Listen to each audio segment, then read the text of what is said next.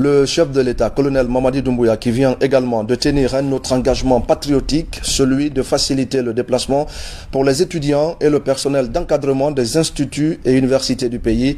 Euh, colonel Mamadi Doumbouya a donc mis plusieurs bus à la disposition du ministère de l'Enseignement supérieur, des véhicules qui arrivent au moment où les étudiants, vous le savez, sont confrontés à des problèmes de mobilité. Adjina Bakar Kamano, correspondant de la presse militaire lors de la tournée de Madame la ministre de l'Enseignement supérieur, de la recherche scientifique et de l'innovation dans les universités du pays, les personnels enseignants et étudiants ont posé plusieurs doléances, parmi lesquelles celles liées au moyens de transport pour faciliter la mobilité des enseignants et des étudiants. Quelques semaines après, des solutions sont trouvées. 25 bus sont mis à la disposition des universités. Excellence, Monsieur le Président, par ma voix, toute la nation guinéenne et le corps estudiantin vous disent merci. Les recteurs, directeurs généraux, enseignants, étudiants vous témoignent leur reconnaissance et leur profonde gratitude. Merci de nous avoir écoutés et d'avoir tout mis en œuvre pour qu'aujourd'hui, sous votre leadership, nous puissions réceptionner ces magnifiques bus. Par cette action, le gouvernement de la transition vient de marquer un grand pas dans l'appui à la résolution des difficultés liées à la mobilité de nos étudiants, dans un contexte où le transport urbain est très complexe. Merci, Excellence, pour ce geste. Les étudiants se souviennent qu'en leur expliquant les problèmes de transport de Conakry j'avais essayé de leur demander d'être patients, que des solutions seront trouvées. Et grâce à notre dynamique ministre de l'enseignement supérieur, de la recherche scientifique et de l'innovation, grâce à la magnanimité de notre président, nous y voilà. Il est important que ces bus soient très bien gérés, qu'ils soient gérés de façon privée. C'est un patrimoine national. Aux étudiants, je dirais, respectez cet outil, c'est pour vous.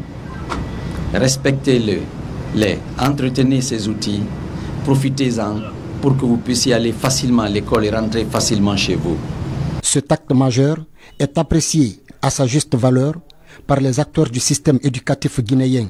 Nous sommes très contents quand on sait qu'aujourd'hui, les élèves, les étudiants, le personnel souffre beaucoup